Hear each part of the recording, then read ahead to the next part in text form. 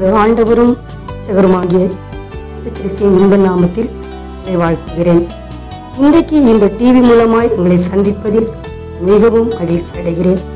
இன்றைக்கு நாம் தவ காலத்தில் முழுமையாக சிலுவை பற்றி நாம் தியானிக்க இருக்கிறோம். சிலுவை பற்றிய தியானம் இப்படிப்பட்டதாம் இருந்து போகிறவர்களுக்கு மடமையாக தோன்றுகிறது. அதாவது ஒன்று குருந்தியர் ஏழாம் அதிகாரம் பதினெட்டாம் வசனத்தில் இவ்வாறாக சொல்லப்பட்டிருக்கிறது. சிலுவை பற்றிய செய்தி இந்து போகிறவர்களுக்கு மடமையே. நாள் மீட்பு பெறும் நமக்கோ அது கடவுளின் வல்லமை சொல்லப்பட்டிருக்கிறது. சிலுவை இழிந்து போகிறவர்களுக்கு மடமையாக தெரியலாம்.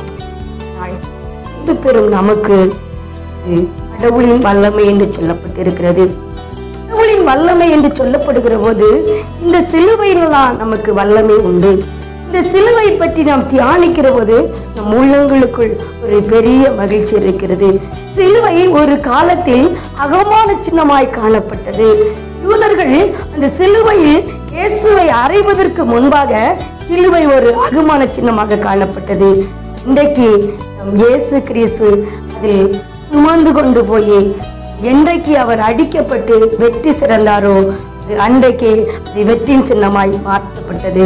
இன்றைக்கும் கூட நாம் லூக்கான செய்தி பத்தொன்பதாம் அதிகாரம் பதினாம் வசனத்தில் சொல்லப்பட்டிருக்கிறது. இயேசு சிலுவையை ஆமே சுமந்து கொண்டு அண்டை ஓட்டு எனும் என்றார் அதற்கு எவரே மொழியில் கொல்கதா என்பது பெயர்.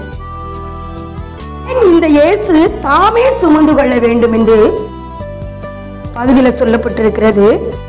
தாமே சுமந்து கொண்டார். ஏனென்று சொன்னால் இன்றைக்கு உலகத்தும் பாவம் நிறைந்த ஒரு உலகமாய் காணப்படுகிறது. இன்னைக்கு நமக்கு மீட்பு கிடைக்க வேண்டும் என்று சொன்னால் இந்த சிலுவையை நோக்கி பார்க்க வேண்டும். உங்களையும் என்னையும் மீட்பதற்காக இந்த இயேசு கிறிஸ்து தாமே சுமந்து கொண்டு போனார். தாமே சுமந்து கொண்டு போனது மட்டுமல்ல அந்த கல்வாரி அலையில் உங்களுக்காகவும் எங்களுக்காகவும் எனக்காகவும் அடிக்கப்பட்டார். அடிக்கப்பட்டது எதற்காக? மீட்பு பெறுவதற்காக. இன்னைக்கு அழிந்து போகிறவர்கள் உலகத்தில் அநேகர் உண்டு. அவர்களுக்கு சிலுவை பற்றி கவலை இல்லை. இதை அழியாமல் மீட்பு பெற வேண்டும் என்று நினைக்கிற அநேகருக்கு சிலுவை ஒரு மகிமின் சின்னமாய் மாறுகிறது. ஏன் தாமே சுமந்து கொள்ள வேண்டும்? இன்றைக்கு உலகத்துல எத்தனை பேர்கள் இன்றைக்கு சிலுவை போல் அநேக பாடுகளோடு இருக்கிறாங்க. என் அன்பு சகோதர சகோதரிகளே இன்னைக்கு அநேக பெண்களை நம்ம எடுத்துக்கொண்டோம் என்று சொன்னால் சிலுவை ஒரு பாரம் என்று அன்றைக்கு இயேசு நினைத்திருந்தார். இன்றைக்கு உன்னுடைய சிலுவை கூட இன்னைக்கு அப்படியே தான் மாறி இருக்கும் இன்னைக்கு உலகத்துல பெண்களுக்கு அநேகருக்கு அதிகார கணவனோடு ஒரு பாரச்சிலுவை சிலுவை இருக்கிறது. படியாத பிள்ளைகளோடு ஒரு பாரச்சிலுவை இருக்கிறது. ஒன்றுக்கு உதவாத பிள்ளைகளாய் ஊதாரித்தனமாய் தெரிகிற பிள்ளைகள் இன்னைக்கு உலகத்துக்கு ஒரு பாரமான சிலுவையாய் இருக்கிறார்கள். ஆண்டவர் இதையெல்லாம் சுமந்து தீர்த்தார். பார்த்து கொண்டிருக்கிற என் அன்பு சகோதரியே சகோதரியே பேச சொல்லுகிறார் மத்தையின் நற்செய்தி பதினொன்றாம் அதிகாரம் இருபத்தி எட்டாவது வசனத்தில் சொல்லப்பட்டிருக்கிறது பெரும் சுமை சுமந்து சோர்ந்திருப்போரே. எல்லாரும் என்னிடத்தில் வாருங்கள். நான் உங்களுக்கு விடுதலை தருவேன் என்று சொல்லுகிறார். பெரும் சுமை இன்னைக்கு சுமை என்று சொல்லுகிறது. நிறைய சுமைகள் காணப்படுகிறது. ஆனால் ஆண்டவர் சொல்கிறார் பெரும் சுமை சுமந்து சோர்ந்திருப்போரே. எல்லாரும் என்னிடத்தில் வாருங்கள். நான் உங்களுக்கு இளைப்பாறுதல் தருவேன் என்று சொல்லுகிறார். இன்னைக்கு உங்களுக்கு இளைப்பாறுதல் வேண்டும் என்று சொன்னால் இந்த சிலுவையை நோக்கி பாருங்கள். இந்த சிலுவையை நோக்கி பார்க்கிற போது உங்கள் சுமைகள் எல்லாம் அகன்று போகும். உங்கள் பாரமெல்லாம் அகன்று போகும். உங்கள் கண்ணீர்கள் மறைந்து போகும். உன் துக்கங்கள் எல்லாம் மறைந்து போகும். ஏனென்று சொன்னால் ஆண்டவர் சொல்லுகிறார் என்னிடம் வாருங்கள். என்னிடம் வாருங்கள். நான் உங்களுக்கு இளைப்பாறுதல் தருவேன். நீ என்னை உலகத்தில் எத்தனை காரியங்களுக்கு நீ ஓடி ஓடி போகிறாய். காலையில் எழுந்து எத்தனையோ கடமைகளை செய்வதற்கு நீ ஓடி ஓடி வேலை செய்கிறாய். ஆனால் ஆண்டவராக இயேசு கிறிஸ்துவை தேடுவதற்கு நீ இடம் கொடுத்திருக்கிறாயா? ஆண்டோர் சொல்லுகிறார் என்னிடம் வாருங்கள் என்னிடம் வாருங்கள் நான் உங்களுக்கு இளைப்பாறுதல் தருவேன் என்று சொல்லுகிறார்.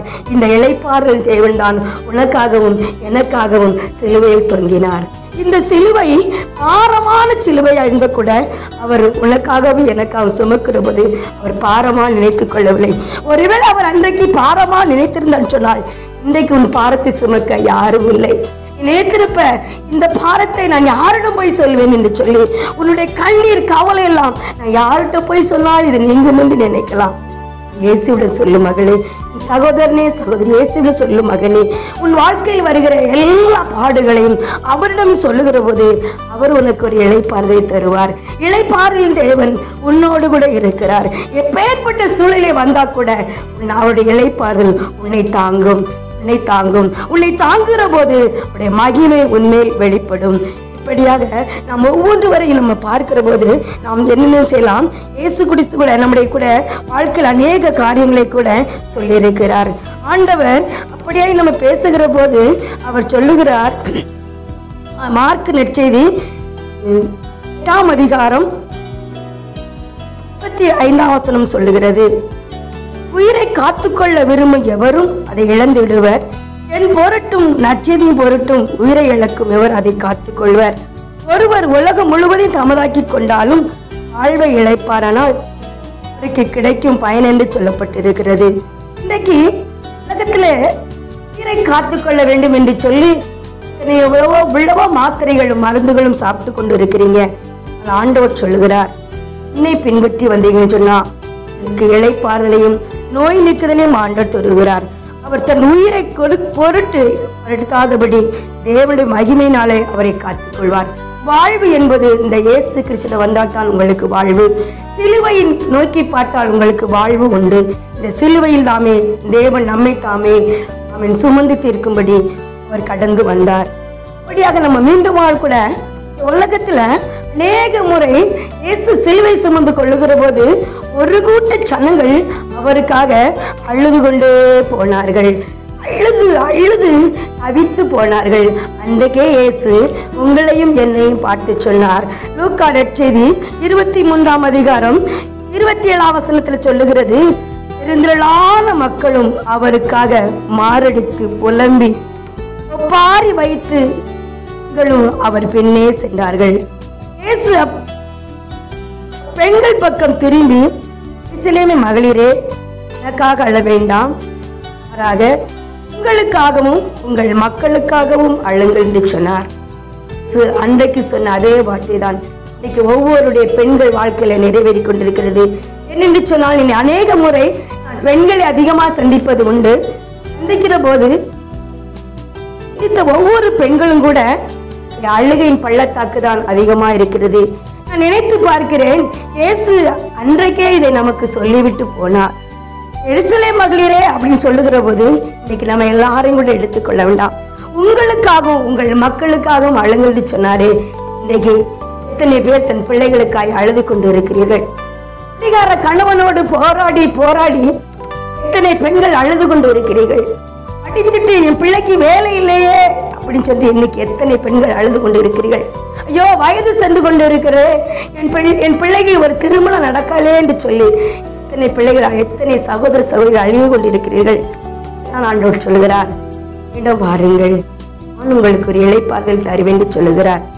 இந்த இயேசுவிடம் நீ வந்தால் போதும். கண்ணீர் கவலை எல்லாம் மறைந்து போகும். கவலைகள் எல்லாம் மாறி போகும்.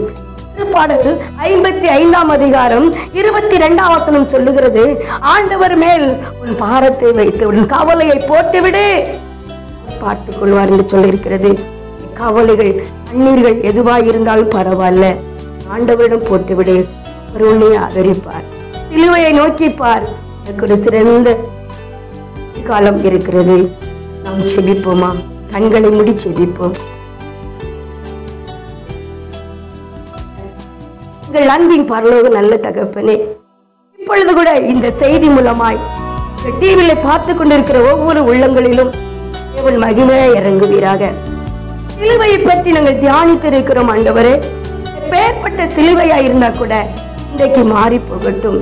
அன்றைக்கு இயேசு கிறிஸ்து எங்களுக்காக கல்வாரி மலையில் சுமந்து ரத்தம் சிந்தின இந்த இயேசு கிறிஸ்து மூலமாய் அவர்கள் பாடுகள் கஷ்டங்கள் துன்பங்கள் எல்லாம் மறைந்து போகட்டும். ஆண்டவர் தாமே இதை சுமந்து கொள்வீராக. என்னிடம் வாருங்கள் என்று சொன்ன இயேசு கிறிஸ்து இந்த பக்கம் அந்த செய்தியை பார்க்கிற ஒவ்வொருவரையும் உன் பக்கமா நீ வீர்ந்து கொள்ளும்படியாய் செபிக்கிறையா? ஓரை ஷாலபரிவி கரவரவா ஓலி சிறிதி கரவரவா இதை பார்த்து கொண்டிருந்த ஒவ்வொருவருடைய கண்ணீர்களும் இன்றைக்கு மாறப்போகிறது. கர்த்தர் ஆமேன். கர்த்தரும் ரட்சகருமாகிய இயேசு கிறிஸ்து மாற மாற்றி வைக்க போகிறார். வாழ்க்கையில் இருக்க எல்லா கவலைகளையும் மாறப்போகிறது. உன் துன்பங்கள் துக்கங்கள் துயரங்கள் இன்றைக்கு மாறப்போகிறது.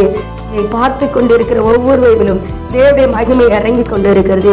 ஓலி சாராடாபாலி கவாவா ஓரை பேபி சாபாரதி நிக்கிறவா அற்புதர் இயேசுவின் நாமத்தினால எல்லா கவலைகளையும் எல்லா தூக்கங்களையும் எல்லா நெருக்கங்களையும் இன்றைக்கே மறைந்து போகும்படியாக செபிக்கிறேன் ஐயா. இயேசுவே நீர் அற்பத்தை செய்யும்படியாக ஒப்புக்கொடுகிறேன் இயேசுவின் இன்ப நாமத்தில் செபிக்கிறேன் தகப்பனே மேன்